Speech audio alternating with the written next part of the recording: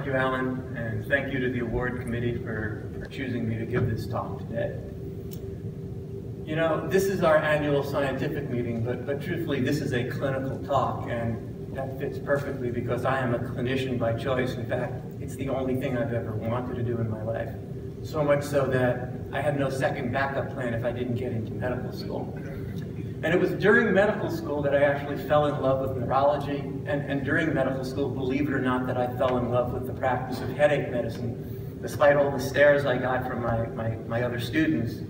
And in fact, headache medicine was actually not a term that was even coined when I was in medical school, but it was something that, that I always thought that I wanted to do.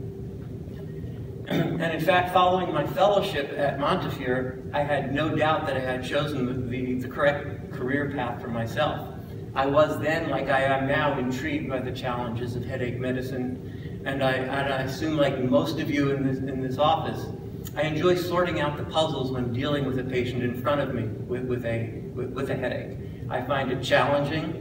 At times, unfortunately, I find it frustrating, but invariably, I find it to be a rewarding experience.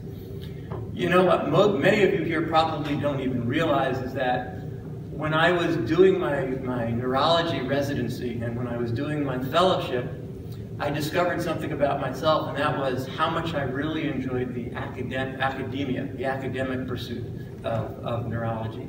And when I discussed it with my then chairman, Dr. Herb Schaumburg, and the director of my residency training program, who ultimately became my mentor, Dr. Richard Lipton, they were unsure whether that would be the correct career choice for me. And they, they based it, at least they told me, they based it not on my knowledge base, not on my ability to do hard work or to do research, but rather they based it on the car that I was driving during my residency. And I actually dug up this picture, a picture about 30 years old of me standing in front of the BMW 3 Series that I drove during my residency. And um, in retrospect, I think I might have been the first victim of automotive profiling. and, and as I look at that picture, I can tell you I really miss that car but not nearly as much as I miss my hair. and unfortunately, I, I think I still have that shirt.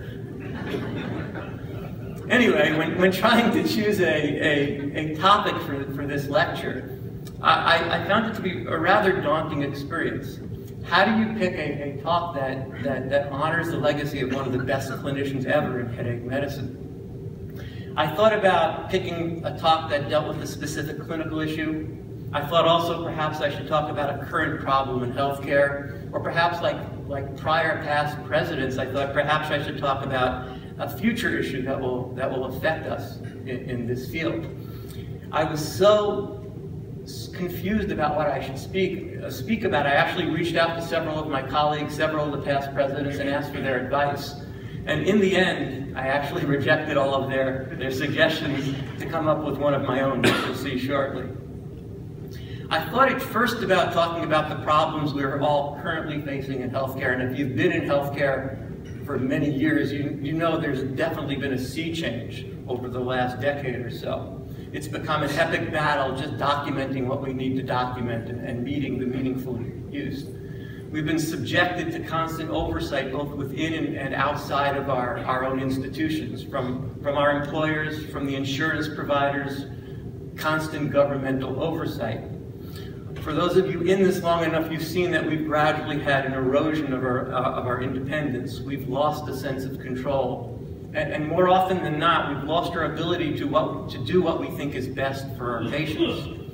And that led me to think that perhaps I should speak about a problem that's so common, the, the, the issue of burnout. You can't read in the lay press, you can't read in the medical journals without coming up about, about this issue. I can't walk through the corridors of my own institution without hearing people complain about how they feel so burnt out.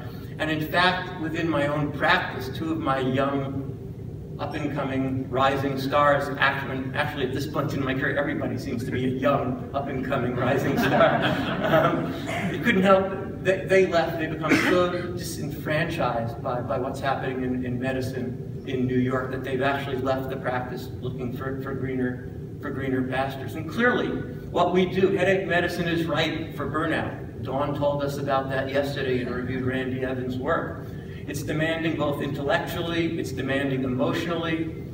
our own colleagues, not, not within this organization, but, but, but colleagues in, in, in other fields, how often have you heard them say to you, I don't know how you do this every day, or I'm happy you do this because God knows I sure don't want to do something like that. But the more I, I thought about it, I can empathize with it, but, it, it, it's not real to me. I still believe that we can make a difference for, for our patients, for, for our patients' families, and for our profession as well. And the more I thought about it, and in retrospect, I'm happy I didn't pick this choice because I couldn't have done it the justice that, that Dawn did yesterday. The more I thought about it, I realized that these challenges more bum me out than they actually burn me out. And that got me thinking again, what is it in healthcare today that I'm the most frustrated? And it's not the day-to-day -day struggles of my practice. They annoy me, but they don't frustrate me to that degree. It's the struggles that I face trying to help those who are struggling with migraine. And if you ask yourself, why is that? It, it's, it's complicated. So clearly it's not the most severe of the headache disorders. That dubious distinction with the clusters or the other TACs. And it's not, for the most part, the most treatment resistant. You all know that feeling within 10 minutes of talking to a patient who has new daily persistent headache as you feel your, your, your stomach start to sink. And it's clearly not, for the most part, the most persistent but it is the most pervasive and it has the ability to be the most disabling. And that got me to think about this topic, disabling migraine through facts, figures, and faces. And the more I thought about it, it, meant, it met all the criteria that I was looking for in a talk. It addresses a specific clinical issue, it addresses a current problem in healthcare, and unless we take steps now to fix it, it will be a, a problem that we all have to deal with in the future. So now, finally, 10 slides into my talk. How long have you seen someone go 10 slides before they bring up their disclosures? Here are my disclosures, which have absolutely no relevance to the talk at hand. The only relevant disclosure I have is that I have a 23-year-old son, Eric, who has been suffering from daily unremitting headaches, migraines, for, for the past two and a half years following a concussion he sustained while in college. So I'm dedicating this talk to Eric. So here's what I hope to cover in the next 20 minutes or so. And I'll, I'll preface this talk by saying there is nothing in my talk that is new to anybody here in the, in the audience. I'm not here to teach you anything. What I hope at the end of the talk is that you will look at this with a fresh set of eyes. So I hope to cover how migraine is disabling, who exactly is disabled by migraine, and finally, what can we do as a group to disable migraine. So first let's start with how is migraine disabling? The problem is huge. If you look at the epidemiologic data, it affects more than a billion people in the world. It affects more than 38 million of us here in, in the United States. That translates to about 13% of all adults, 8% of children and adolescents. It has a lifetime prevalence of nearly 20%, and 3% of our population suffer from the chronic form of this disease. It affects people early in their lives, typically beginning before age 35, typically affecting them in, in their peak productive years, between 25 and 50. But quite frankly, this doesn't do it justice, and, and with all due respect to my epidemiologic colleagues, including my mentor, um, it's just numbers on a page. It doesn't really tug at the heartstrings. It doesn't really convey what migraine does.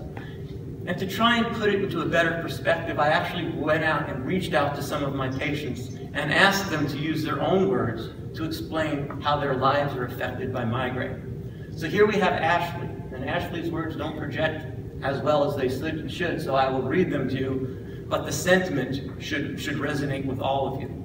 Ashley tells us, I experienced my first migraine at age 10. Attacks became more frequent and severe over time and are difficult to treat and nearly impossible to prevent. They take a huge toll on relationships with family and friends. I miss important events and have been hospitalized many times. I medically withdrew from school. Now 23 and in medical school, I cannot remember a day that I wasn't in pain. I have challenges and hardships that others don't my journey towards becoming a doctor will be an uphill battle. Now that, I think, is pointed. The World Health Organization tells us that migraine is the third most common and sixth most disabling disease on the planet. Furthermore, the WHO tells us that a day lived with migraine is as disabling as a day lived with dementia, quadriplegia, or acute psychosis. And that migraine is more disabling than blindness, angina, or paraplegia. Again, just words on a page. If you ask a patient what migraine does to them, they put it in, in, in more succinct terms. Rob tells us that imagine all the people, possessions, and activities you love the most in life being right in front of you, but being in so much pain that you can't reach out to grab them. That's how my migraines have made me feel every single day for the better part of the last decade. I've missed so many crucial days at school, so many paying hours at work, and so much leisure time with my friends and family, all because I have this disease and it controls me like a puppet. So who exactly is burdened by migraine? Well, clearly the patient, but also their families, their employer, assuming that they can have gainful employment, and the entire healthcare system. Looking at data from, from uh, recent data from the CaMEO study, we see how migraine tears at the very fabric of the, of the family. It interferes with the spouse, the child, and the affected individual as well. Looking at data from the CaMEO study, we see that it causes stress in the lives of, of, of, their, of the interaction, even when the patient doesn't have a migraine. A third of the spouses of those with episodic migraine, half of the spouses of those with the chronic form of this disease report avoiding the person with migraine when they're afflicted with an attack. People with migraine and their spouses reported that the spouse was more demanding on the children because that sufferer's migraine. And finally, the affected individual tells us that they believe they would be better parents if they didn't suffer from migraine. Again, words on a page, powerful words, but not nearly as powerful as what Marisol tells us. And Marisol, when asked, told me, I'm a 44-year-old mom with migraines for 20 years with no effective treatment in sight. After 20 years, I am seeing a specialist who changes my medications every three months to see if any combination will alleviate the severity of the attacks. My family life depends on how I'm feeling on that particular day. If I don't have a migraine, I'm able to enjoy my family in the day. In the throes of a severe migraine, a dark, silent room will be my companion for the day or days. That sentiment is, is, echoed by Abby, another one of my uh, patients, who says, Daily migraines for the past eight years made me quit my career. Now, as the mother of two young children, the severe pain greatly impacts my ability to care for them. My family gets a much lesser version of the person I used to be. I have less patience, I'm more irritable and constantly stressed by the chronic pain. I spend a lot of time resting instead of being with my kids. I have been on a seemingly endless search for relief, and I have not yet found effective treatment and often think I never will. Migraine affects the employer as well, assuming the patient is actually able to go to work. Migraine costs the American employers about $20 billion a year in both direct and indirect cost. Not surprisingly, the chronic form of the disease affects people and, and, and, extracts more of a toll than the episodic than the episodic form, but nonetheless, it's the same disease with different forms and extracts an enormous um, toll on our society. Men with chronic migraine cost employees about $200 more per week than episodic migraine and the difference is about half that for, for women.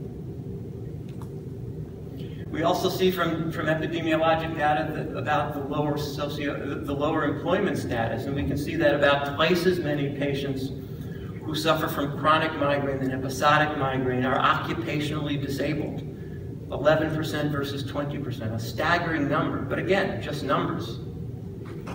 This young patient, Steve, tells us how it impacts his life as well.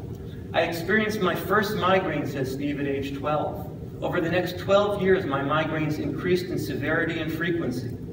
I am now 24 years old and should be able to have a full-time job. Because of chronic migraine, I am unable to work or participate in daily activities and have been left stuck in a dark room. I no longer feel like I have specific attacks. I would say at this point I have a migraine for two years that just fluctuates in severity. Is it any wonder then that there are greater healthcare resource use by, by people who suffer from, from migraine, whether it's episodic or chronic migraine, whether it's inpatient, outpatient, or emergency department visits. Despite the scope of the, of the illness, despite the healthcare burden caused by the illness, our armamentarium to treat these patients remains woefully inadequate. We, there, we have, in fact, several acute treatment options, but the newest agents, those agents, the triptans, were introduced two decades ago.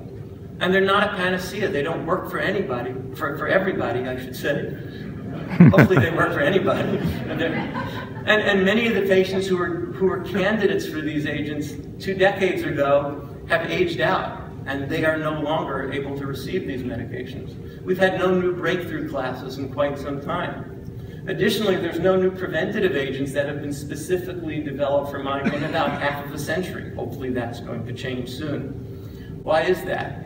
Well, I think part of the answer lies here in this slide that, that Bob Shapiro was kind enough to lend to me, where we're looking at the NIH funding compared to, plotted against the DALYs, the, the disability adjusted life years.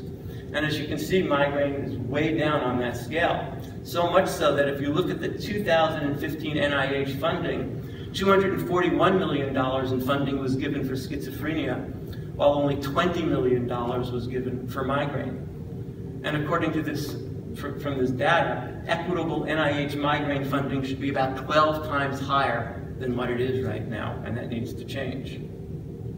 Further complicating the issue is the stigma that, that, our, that our patients with migraine endure. When compared with other similar disorders, and by that I mean chronic conditions with an episodic occurrence, migraine stigma is significantly greater than it is for asthma. It's on par with epilepsy and panic disorder, and not surprisingly, those with chronic migraine are much more stigmatized than those with episodic migraine. And stigma has been correlated most strongly with the inability of the sufferer to work and, and, and with absenteeism. Why is it that, our, that these people with migraine are stigmatized? Well, there's many reasons. As you know, all too often migraine is not considered a real medical illness. It's an invisible illness because patients look normal in between their attacks. There's no specific biomarker, at least not yet, and hopefully hopefully the, the biorepository um, and the registry will put an end to that fairly soon. Migraine is comorbid with a number of psychiatric and psychological conditions, as Dawn Buse reviewed for us yesterday. And attacks are most commonly reported to be triggered by stress. So all too often, patient families, patient coworkers, unfortunately other clinicians attribute this to a psychiatric or a psych psychological condition. And migraine is not considered a life-threatening condition. So then explain to me why it's a leading cause of suicide attempt and suicide in both the civilian and military populations.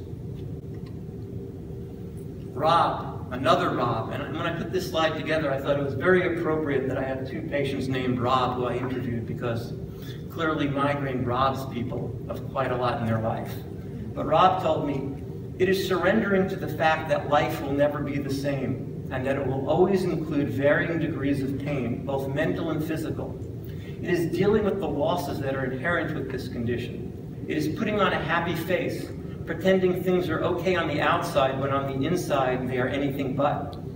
It is knowing that people without chronic pain do not understand chronic pain. It is not knowing what tomorrow will bring. It is all easier said than done. It is no way to live, yet life goes on. Much more powerful than any statistic I can quote to you today. And that brings me to this. Is migraine a disease or is migraine a disorder? And we need to get the message out. And David alluded to this at the opening, that there's going to be a public awareness campaign in beginning in February of 2017 to change these perceptions and, and to destigmatize migraine moving forward.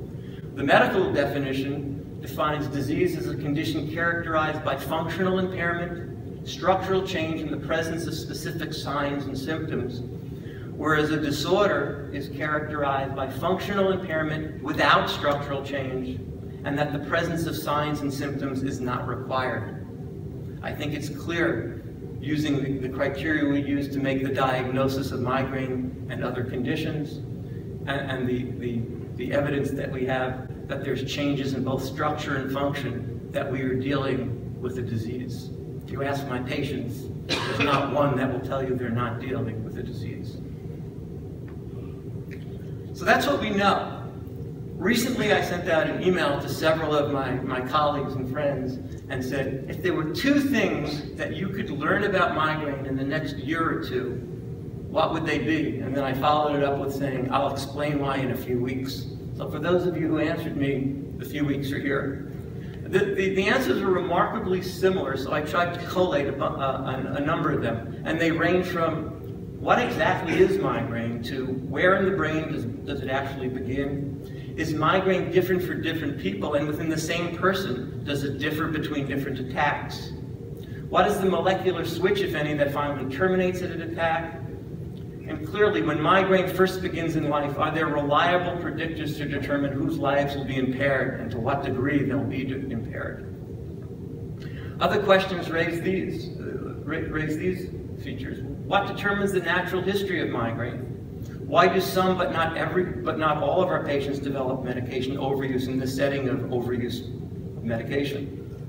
Why does migraine remit in some what is the molecular mechanism that underlies the increase in frequency and persistence that happens with the transformation to chronic migraine? And also, is concussion a trigger for chronic migraine? And I think Eric would have an answer for you for that one. And then finally, looking towards treatment answers.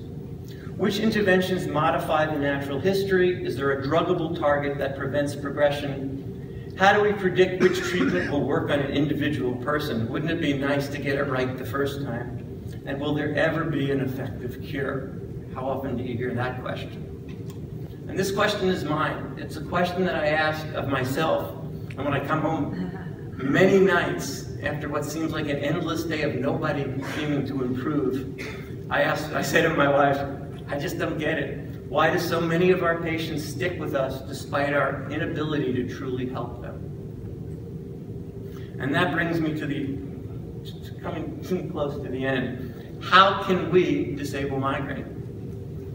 And I think we can do it in a number of ways. We can do it by changing misconceptions, by getting the word out through this public awareness campaign that migraine is a real neurologic disease. And we can do this building on what we already know, plus what we will know moving forward in the future, using neurobiological, imaging, genetic and epigenetic insights.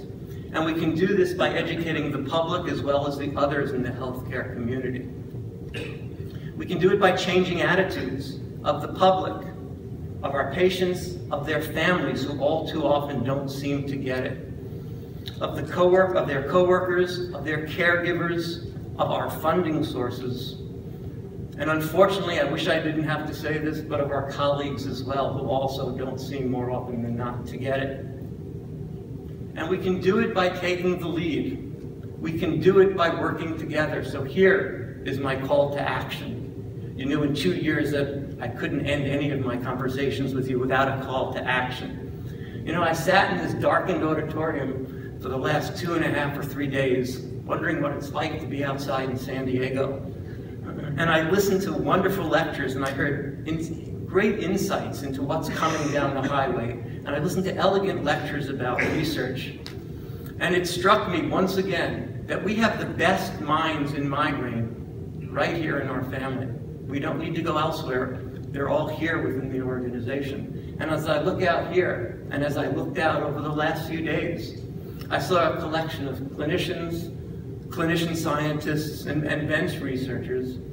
And I ask, if we don't do it, who is going to do it? Honestly. And I don't care if you address this disease a patient at a time, a clinical study at a time, or a molecule at a time. Are we not all in this for the same reason? The very reason, the, the, the mission statement of the American Headache Society, to improve the lives of headache sufferers. Several slides ago, I talked about loss of control, how healthcare has evolved and we're not in control anymore. Here is an area where we actually have the ability to control our own destiny. We can make a difference by changing perceptions, by getting the word out, by working and, and, by working and supporting the American Migraine Foundation. And I don't care how you do it. I don't care if you donate your time, if you donate your money, if you donate your voice, but do something. This is a volunteer organization. We all depend on you. And without all of us working together, we're not going to affect any change. Do you want to change the funding graph?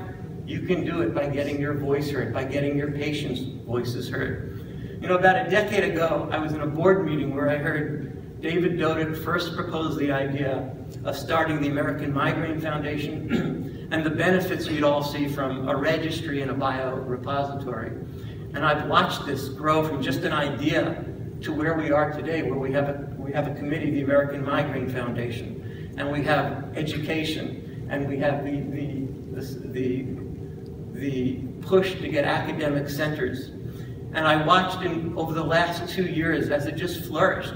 And I, and I watched in awe as he tells us that 50 patients are now enrolled in the registry. This is going to be our future. This is how we are going to make a difference. But we all have to do it together. And I would be foolish, there's over a, a thousand of you in this organization. I realize I would be foolish and say, don't open your wallets, don't give money. I would never say that. Feel free to donate to the foundation. If a thousand of you gave $100 or more, that's really great.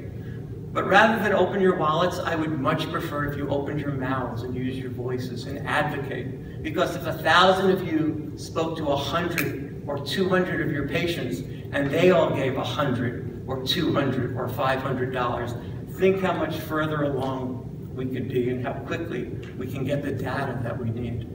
But you have to do it. You have to do it and we have to do it together. You know, I, I, I I won't go there. and it doesn't have to be just here. Work through your patients, work through advocacy. You know, Bob Shapiro and Bill Young work tirelessly to try and get legislative changes for us. Help them. Attend Headache on the Hill. Support AMA and the other patient organizations. With a cohesive voice, we will all make a difference, and we all can make a difference. So I asked the question, how long ago? My question, why do our patients keep coming back despite the fact that we're not doing anything? And I think the answer should be pretty obvious. Because we offer them something that most of the other people that they've seen haven't. We offer them hope. And they know that their best chance of finding relief and having ultimate success is through working with us, not against us.